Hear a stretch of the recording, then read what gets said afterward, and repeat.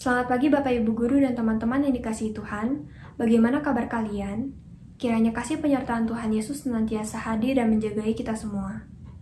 Sebelum kita memulai aktivitas kita pada pagi hari ini, mari kita menerima sabda firman Tuhan. Sebelumnya, mari kita berdoa.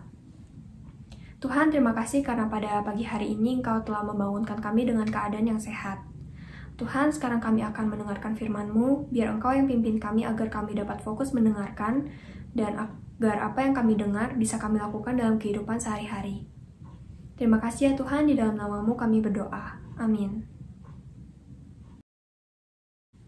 Renungan pada pagi hari ini berjudul Terus Berproses, diambil dari Mazmur 126 ayat 1 sampai 6. Tuhan telah melakukan perkara besar kepada kita, maka kita bersuka cita. Mazmur 126 ayat 3. Bestins, banyak orang mengatakan bahwa hidup itu proses. Kita lahir, tumbuh menjadi anak-anak, remaja, dewasa, sampai menjadi orang tua.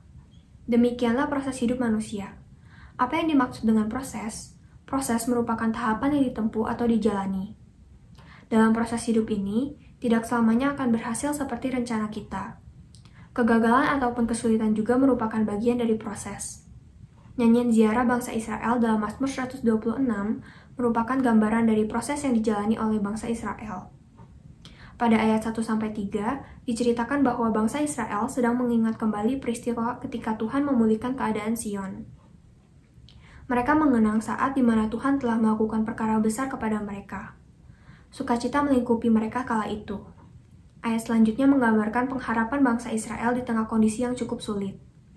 Sekalipun kondisi mereka cukup sulit, namun kenangan akan suatu keadaan yang indah di masa lalu membawa pengharapan bagi mereka. Mereka yakin bahwa usaha yang mereka lakukan akan membuahkan hasil yang setimpal. Penyertaan Tuhan yang mereka rasakan memberikan semangat bagi mereka.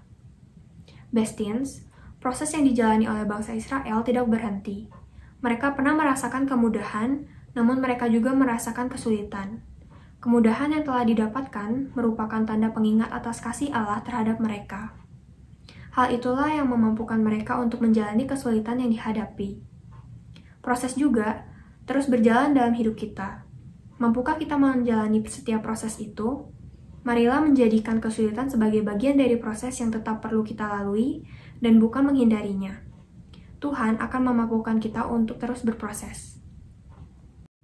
Mari kita berdoa.